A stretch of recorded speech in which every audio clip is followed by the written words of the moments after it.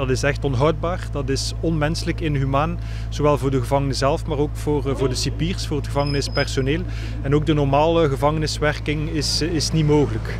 En daarom heb ik het bevel gegeven om de reeds opgetrokken maximumcapaciteit te respecteren en uh, geen nieuwe grondslapers toe te, laten, toe te, laten, En heel concreet om tegen 1 maart naar een halvering te gaan van het aantal grondslapers en tegen 1 mei uh, dat er geen gevangenen meer op de grond uh, moeten slapen. Nu, de overbevolking van onze gevangenissen in gans het land is, is mij bekend en is, is, is, een complexe aangelegenheid, maar de situatie in Gent is echt schrijnend. We hebben als gevangenis de hoogste graad van overbevolking en dat is toch wel echt problematisch, niet alleen voor de gedetineerden, ook voor het gevangenispersoneel, maar ook voor de samenleving. Want op langere termijn bevordert dat echt niet de reïntegratie van de gedetineerden in onze samenleving. Dus ik vind het echt mijn taak als burgemeester om dit aan te kaarten, om uh, oplossingen te vragen aan de bevoegde overheden en een einde te maken aan echt onmenselijke situaties uh, die echt onaanvaardbaar zijn.